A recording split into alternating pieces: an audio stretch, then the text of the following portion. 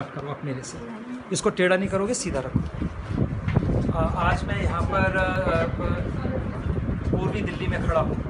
आपने क्लिक तो नहीं करा कुछ आज मैं यहाँ पूर्वी दिल्ली में खड़ा हूँ और पूर्वी दिल्ली के लगभग शताधिक अध्यापक यहाँ उपस्थित हैं, जो गाज़ियाबाद, नोएडा और पूर्वी दिल्ली पूर्वी दिल्ली से यहाँ पर एकत्रित हुए हैं।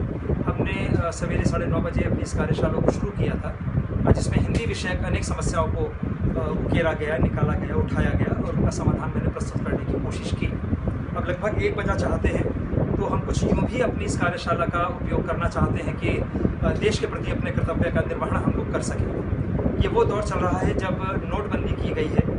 उस नोटबंदी के कारण बहुत हुहा हो रहा है और कुछ राजनीतिक दल, कुछ लोग अपने अपने वक्तव्य अपने अपने विचार प्रस्तुत कर रहे हैं। हमारा संविधान सबको स्वतंत्रता देता है कि वो अपने मन के विचार सबको बताए।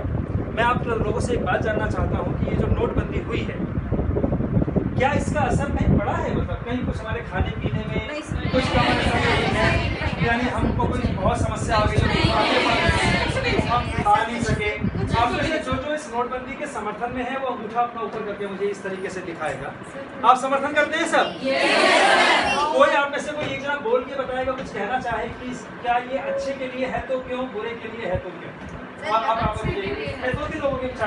मुझे लगता है ये बहुत अच्छे के लिए है। ठीक है कुछ समय के लिए परेशानी कुछ लोगों को हो रही है लेकिन आगे हमारी पीढ़ियों को अगर स्वच्छ भारत इस तरह से मिल जाए जहाँ भ्रष्टाचार मुक्त भारत हो तो बहुत अच्छा हो बहुत सुंदर है। आपको शुक्रिया बता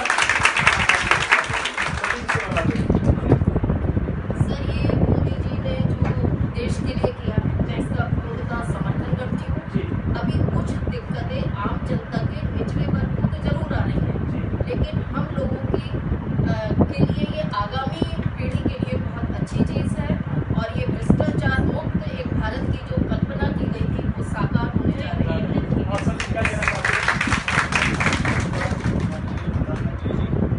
आपका नोटबंदी का योजना है जो कदम है उसका मैं पूर्ण रूप से स्वागत करता हूँ मैं इसका समर्थन इस रूप में कर रहा हूँ क्योंकि आपने जो कदम उठाया उससे उच्च वर्ग ही नहीं मध्य वर्ग और निम्न वर्ग जो है, वह मुख्य रूप से उभर कर ऊपर आएगा। वे लोग जो बहुत दबी कुचले हैं, जो मुख्य रूप से शिक्षा के अधिकार को प्राप्त नहीं कर पा रहे हैं, उनको कहीं ना कहीं इस का मुद्रा विकेंद्रीकरण के वजह से उन्हें ज़रूर अवश्य कुछ ना कुछ फ़ायदा होगा।